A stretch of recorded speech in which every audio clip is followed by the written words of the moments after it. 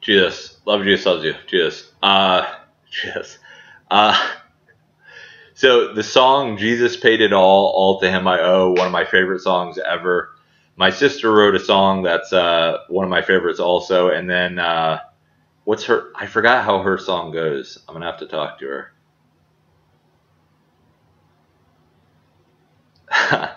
I thought I, I thought I thought of it, so it's a really good song. But uh, and then uh, another song is uh, what is the song? Give me one second. It's uh, Jesus paid it all, all to him I owe. Then the song my sister wrote, I love it. And then uh, what is it? Uh, oh come on.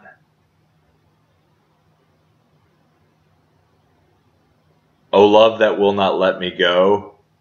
By who is it by? Oh, love that will not let indelible grace. Oh, love that will not let me go by indelible grace. Those are my top three favorite songs. One my sister wrote, indelible grace. Oh, love that will not let me go, and Jesus paid it all. All to Him I owe.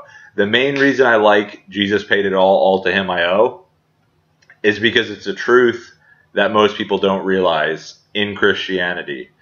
Jesus paid it all. That's fantastic. That had to happen. Everyone is aware of that in Christianity that Jesus paid it all. Everyone preaches it every Sunday. What they don't preach, let's raise this up, we're saved by the blood of the Lamb and the word of our testimony. Blood of the Lamb, word of our testimony.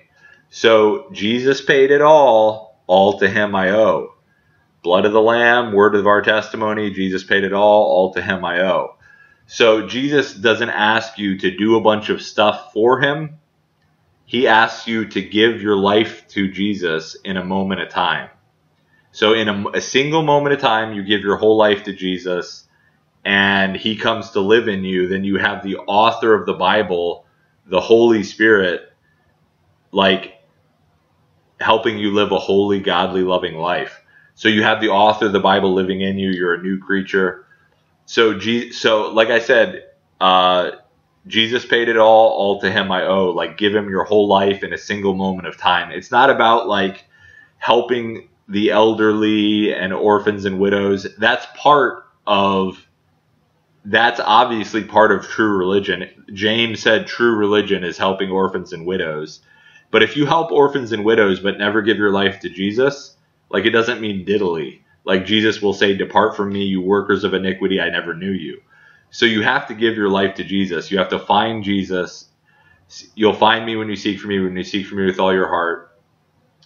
And you read the scriptures because you think in them you have eternal life, yet you refuse to come to me, that you may have life. So you have to find Jesus. You have to go to Jesus outside the city, bearing the shame and reproach that he bore.